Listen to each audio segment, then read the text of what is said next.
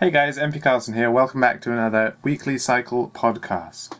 How are you guys doing? You alright? I'm uh, I'm I'm doing good. I hope you are too. Stuff and things, conversation topics and such. What are we talking about today? I don't know. What are we talking about today? What's there to talk about? I'm going to talk about some stuff.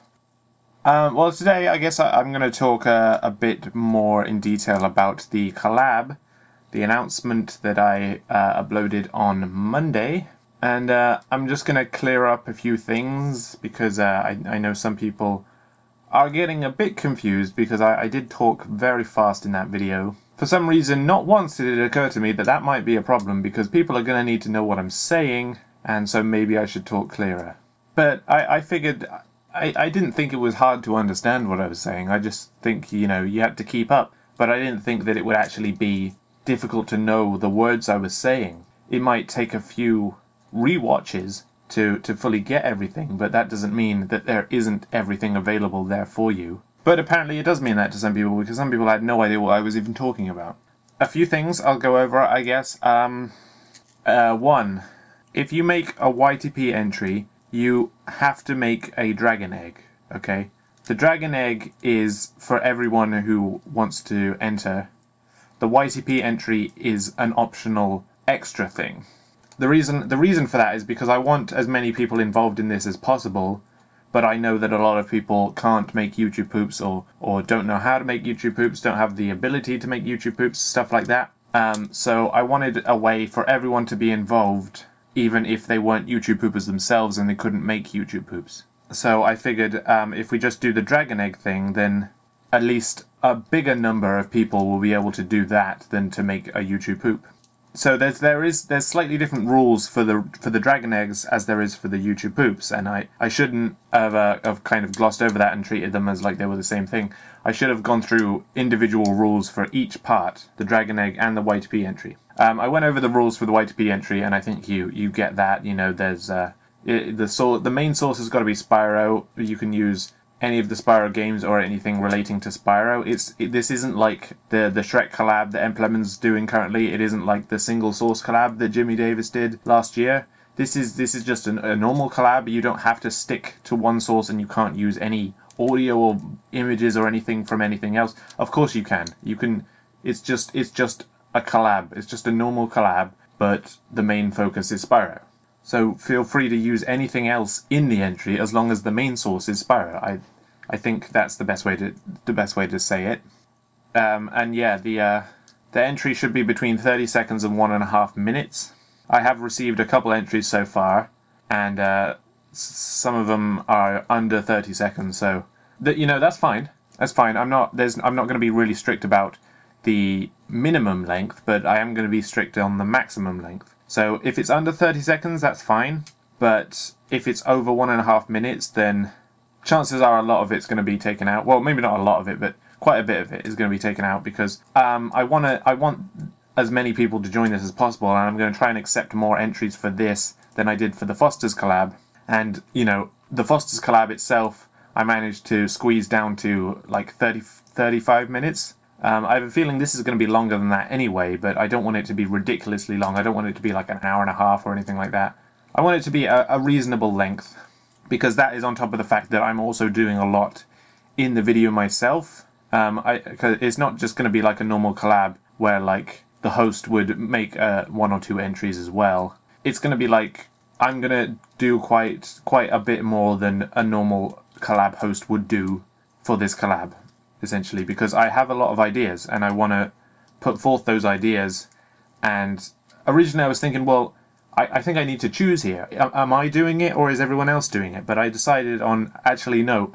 Why don't I just break the rules here a bit and do both? I'm gonna do quite a bit of it, and but it's also going to be a collab, and you know it doesn't matter if that doesn't necessarily follow the rules that a normal collab would. I, I, I want it I want it to be a big important thing, and I want your involvement in it, but I don't want it to be all left up to you either, because then it might seem as though like well, I, I, didn't really know what to do for this video, so I turned it into a collab so that everyone else could do the work for me or anything like that. Because I do want to do a lot for this.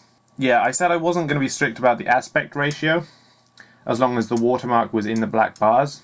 You know, I this is something I, I, don't, I don't really understand. Like, is it is it difficult to make video sources and things fit the aspect window in your video editor? Because it's not for me. Like, every time I'd load something into the video editor, I would crop it to make sure it fit perfectly in, in the 16 by 9 frame. But it seems like that's, that's a difficult thing for some people to do, or they just don't think about it. It's, it, it's strange. Because I did receive one entry where um, there was a load of different clips, they were all different sizes, and so instead of um, making them all kind of the same size, filling the whole frame with the video source, they moved their watermark every different shot. Um, but they didn't change the size of their watermark, so it meant that when I went in and edited it and made all, all the shots all the same size, then their watermark was changing size and it didn't look very good. So I, I just want to say that, like, I don't see how it can be that big of an issue to make the any any video source you import into your project fit a 16 by 9 frame. Like most things do. Films do. YouTube videos do. TV shows do. Most things fit that frame. I don't know why it's so difficult to find things that fit that frame, or also if you have things that don't fit that frame, to make them fit that frame. So just just just keep that in mind because I ultimately I'm gonna I'm probably gonna edit your entry in some way. I, I'm not I don't mean like massively edit it. I'm not gonna like change what you've done necessarily, but I'm I am gonna make it fit in the video when I put it together. And if that means changing the the the size of, of some shots but that also means changing the size of the watermarks, then I'm afraid that's that's nothing I can fix. That's something that you would have had to think about when you made your entry. I apologize if in the final video that makes it so that your entry looks a bit weird, but it would have looked weird if I'd left it anyway because all the shots were different sizes. It just it doesn't make sense. Um, but yeah, I, I did want to stress that other thing about that because um, I have received a few YTP entries without dragon eggs, and I, I realize that that's probably because I haven't actually uploaded the dragon egg video yet, although I will have, I hopefully will have by the time you're watching this. Um, I'm planning to, it's Thursday when I'm recording this now, and so I'm hoping that I'll be able to get that dragon egg video out tomorrow, and then I'll put the link I'll put the link in the video, I'll put it in the description of the video as well, I'll, probably put it in the comments, and I'll put about it on Twitter just so everyone knows this video is available now. So, you know, go pick a, a, random dragon egg, or well, maybe not a random one, but just pick one, because um, I, have received a few dragon egg entries because people have managed to get the uh, the source of of the dragon egg animations from other places, um, but a few of them have all been the same dragon egg. In fact, the uh, the first dragon egg that you get in Spyro 3, which is called Isabelle, I think, um, and a few of them have all been that same dragon. And uh, so I, I, I, would encourage you to uh, not use the first one, essentially. It will it will be up by now, hopefully. But um, if you haven't gone through that and picked your dragon egg yet, I would say please please try not to pick one of the early ones, especially not the first one, Isabelle. Use use there's there's over a hundred. I think there's like a hundred and forty in total. That's a lot to pick from. You don't all have to pick number one. But about the dragon eggs, I want to go into a bit more detail about the rules for the dragon eggs because I wasn't very clear on that. Essentially, um, it's not. You don't have to treat it like a YouTube poop. I, I don't mind if you do. That's obviously fine. If that's how you want to edit it, then that's fine. But ultimately, you can do whatever you want with it, um, as long as you follow these kind of guidelines. Essentially, um, well, the original dragon egg animations are five to ten seconds long. So I'm not going to put a time limit or anything, but you know, don't don't go crazy with with the time. Don't like make it like 30 seconds or a minute. Well, 30 seconds isn't too bad, I suppose, but don't make it like over a minute long when you've only got five to 10 seconds of footage to actually work with here. It would be good if a lot of them were shorter because that way I could fit more in. I mean, I'm gonna, I'm probably gonna try and fit every single dragon egg I get in. Not necessarily every single YTP entry, but I will definitely try and fit every dragon egg if I can. But yeah, you don't have to treat it like a YouTube poop if you don't want to. If you do want to, then that's perfectly fine. I have received a few dragon eggs that are like YouTube poops using the dragon egg source. Uh, but you don't have to do that. You can do whatever you want with it ultimately. Yeah, well, yeah. I, I, you have total creative freedom with that, really. One one small thing that a, a few people have uh, not done is um, the name of the dragon egg, the name of the, the baby dragon in the egg, I, I want you to take that name and replace it with your name, essentially. Not replace it with just a random thing, a random name or a random word or anything like that. Replace it with your name so that that way people will know that that's you who made this dragon egg. And that also means that you don't need a watermark in the corner for the dragon eggs. Ultimately, you can just take the watermark that you would have normally put in the corner and just put it over the name instead, instead of in the bottom right or the bottom left or whatever. But yeah, dragon eggs, they don't need a watermark, but you need to replace the name with your name, not with anything else. It needs to be with your name. Okay, is that clear? I hope that's clear. Okay, so yeah, I just wanted to, to clear those things up because um, some people were getting confused about that. Um, so anything else? Was there anything else about that? Yeah, if you if you make a dragon egg and a YTP entry, chances are in the video your dragon I'm going to play your dragon egg before your YTP entry because that would just make sense. But one thing to note is that I'm probably I'm more likely to accept your dragon egg than I am to accept your YTP entry. Um, I'm not I'm not going to be as harsh. Well, I don't know if harsh is the right word, but I'm I'm going to try and accept more entries than I did for the Foster's collab, like I already said. But what I, I'm going to try and accept everyone's dragon eggs if I can. So it's it's it's more likely that your dragon egg will be accepted than it is that your YTP entry will be accepted. I mean, if they're both good, then obviously I'll accept both. But but I just want to point that out that your if you see your dragon egg in the video, it doesn't necessarily mean that your YTP entry will be in the video too. I apologize for that, but again, I'm going to try and accept as many as I can. It it, it, should be good. I, I'm I'm thinking um I'm thinking of I'm pro- I'm probably going to try and uh, mold them a bit um, because w- with the Foster's collab, it was kind of because everyone was doing the same episode of Foster's, so I kind of just like went through each entry, thought, okay, let's take this scene from the episode. Who did a, who edited this scene? Who made who made stuff out of this scene? And then I'll just kind of arrange them in the best order and then play that through. Cut and split the entries, fit them around each other, and it will just kind of all all mesh together nicely. But for this, because they're all going to be different things, then uh, they'll probably be kind of uh, molded around. Your entry may be split up and put in a different order. Um, I may take small parts of it out ultimately, I think I may actually actually go in and edit your entry just a bit. I'm I'm not gonna like I said, I'm not just gonna like take someone's entry and think, okay, well this is rubbish, but I'm gonna try and make it into something I want to make. I want it to be nothing like that. Your entry is your entry, and I'm gonna accept it that way. But I I am gonna try and mold them all to fit the entire video. Not exactly too sure how I'm gonna do that yet, but I think that will be a, be- a better way to put it all together considering that a lot of this is going to be done by me. I mean, obviously, a huge chunk of it is going to be done by all you guys, but it's not going to be just you guys. It's going to be me as well. And so I'm going to kind of create the basis of the video and kind of find ways to fit your entries in that, if that makes sense. Um, so yeah, that's that's. I think that's all I, I need to say about the collab. Um, again, the deadline is June 1st, so you've still got um, well over two months. I said three months in the video, that's because I would think I was expecting that announcement to be out earlier than it was.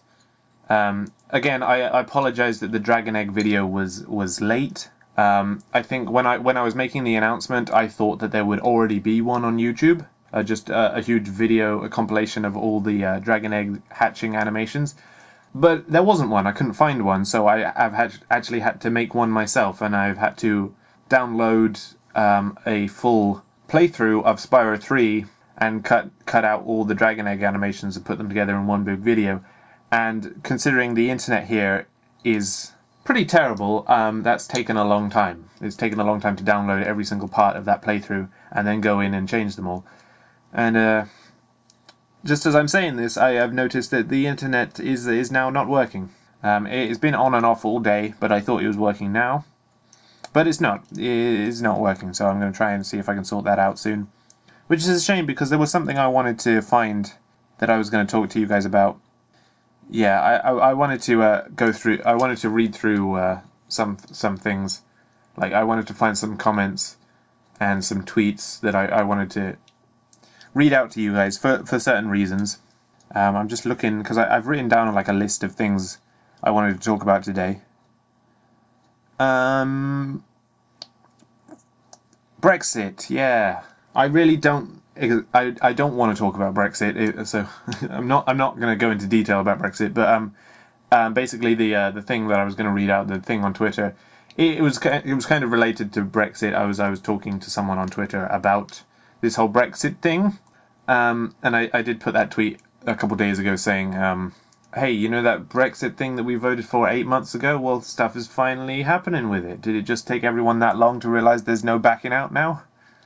Because it has taken ages, and there's still people who are thinking, hey, you know what? Let's not do it. Let's let's let's just pretend the Brexit vote never happened. And I'm just sitting here thinking, no, we we voted and the majority wanted us to leave. That's not a bad thing. Stop treating that like that was a bad thing we did. That was not a bad thing we did. I've seen that a lot of people are now saying that they regret voting leave. I don't. I really don't regret voting leave. I looked through all the reasons for, for voting to remain and voting for leave, and I decided that voting leave would be the better option. I stand by that decision and I'm not changing my mind. I still think that that will be better when we've left. And, uh, you know, uh, uh, there's obviously going to be the people who are saying, like, oh, well, um, that, the, you know, yeah, you know, stuff about, like, immigrants and, and things like that. And uh, ultimately, I, I don't care. There was a lot more reasons to vote for leave than there was anything to do with immigrants. Because, you know, I'm, I'm not against immigrants. Why would I be against immigrants? Legal immigrants, I mean. Illegal immigrants, yes, but you know any rational person would be against illegal immigrants. But you know, there's a, there's like uh, people saying like, oh well, everyone who voted to leave just wants every non-British person out of the country. Everyone who's everyone who's not English the anyway. I don't want to go into detail about this because I, I don't want to talk politics. Not only because I don't know enough about it to to uh, make a statement or anything like that, but also because I don't want to because it's not a very positive thing to talk about because it's always negative. There's there's never any positive news about politics, and and I want to be positive. I don't want to focus on the on the negative things in the world. Because when people focus too much on the negative things in the world, they start to think that there is only negative things in the world, or there is more negative things in the world than there is positive things. It's why I don't like to watch the news very often because it's all negative stuff. And when people watch the news and they see all this negative stuff, they start to think, the world is a terrible place. There's nothing good around. Everything is terrible, which completely is not true. If you just heard me say that and you're starting to think, well, but everything is terrible, what are you talking about? You, you, why are you saying that people think there is only negative? There is only negative. You are one of those people. So I think what you need to do is find the good things in the world and appreciate them. Um, but yeah, yeah, you know, Brexit, it's good. I'm glad that things are finally happening with it. There's that, like, the triggering the Article 50 thing. Watchamajigs, it's taken everyone so long to finally accept the fact that we voted for this, and it's too late to back out now for those who want to back out. I don't want to back out. Um, and about like the whole um, Scotland having their own referendum, I think that's great. I think that's good because I know the uh, an overwhelming majority of Scotland voted Remain, and it was just overshadowed by England, so I'm glad they're having their own referendum. I don't know when that's going to be, but yeah, I, I think that's really good. It's good to have independence, really. It's good to make your own decisions. Don't let other people make the decisions for you. But that's all I'm going to say on that, because who, who nobody comes to this channel for politics. So why am I even talking about it in the first place? Um, Crash Bandicoot. There we go. That was the one last thing I wanted to talk about here because uh, I haven't really talked that much about the Crash Bandicoot N. Sane trilogy. Um, I mentioned it very briefly when it, not long after it was announced in my uh, two-year anniversary celebration video. And some people asked, like, uh, "What's your opinion on the on the news of the Crash Bandicoot remasters?" And I was like, "Yeah, it's it's all good. Yeah, it seems good." And that's pretty much all I said because there wasn't really any information about it other than, "Hey, there's going to be Crash Bandicoot remasters." nobody knew anything about it. But now it's getting closer to the time when they're actually released. There's like gameplay footage and trailers and screenshots and everything, and everybody knows kind of what it's going to be like. And uh, I just want to kind of give my opinions on it. I think it's great. I don't think it's uh, amazing, but I think it's definitely it's definitely going to be good for the Crash Bandicoot series. And I, I think a couple of people were asking, um, do you, do you think it, it, it's good that now a lot more people are talking about Crash, or did you prefer it when it was kind of like a select group of people who kind of talked about it without outside input or anything like that? Um, I, I, I don't see it as like um, I liked Crash Bandicoot before it was cool or anything like that. Because um, it doesn't seem like there's new fans, if you know what I mean. I, I don't think that announcements of Crash Bandicoot remasters and all the footage and stuff, I don't think that has created new Crash Bandicoot fans. I don't think anyone has seen that and thought, oh, hey, this looks cool. I'm going to look into Crash Bandicoot, see what this is, and then you look up all the original Crash Bandicoot games and then you've created a new Crash Bandicoot fan. I don't think it's anything like that because ultimately I think anyone who has not played any Crash Bandicoot game is not really gonna give a damn about Crash Bandicoot remasters because they don't really know Crash Bandicoot. Who cares about HD remasters of a game I've never played? Ultimately, I think what's happened is because there has been nothing Crash Bandicoot for like coming on 10 years now because because it's been completely dormant, I think a lot of Crash Bandicoot fans have just been dormant. They still know of Crash Bandicoot, but nobody really talks about it because there's no news about it.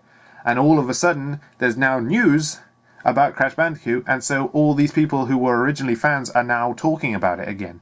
They they they were always fans. They just had nothing to talk about because there was no new stuff, and that's what I think's happened. So I, I'm not annoyed that now Crash Bandicoot is in the spotlight. I think it's great and I look forward to seeing what happens after the remasters. Maybe we'll get completely new games.